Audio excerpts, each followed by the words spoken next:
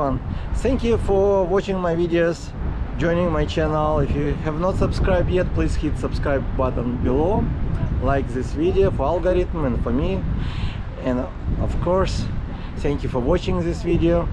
And uh, this video will be about me riding this bike, testing uh, Jetson Bolt Pro. Uh, what I'm gonna test today and uh, the test is after disabling the pedal assist I want to see how better for me riding this bike. So right now I'm located at uh, Santa Monica. It's a Annenberg center but it's closed. It's very beautiful here. It's historic. As you can see behind me is a historic house.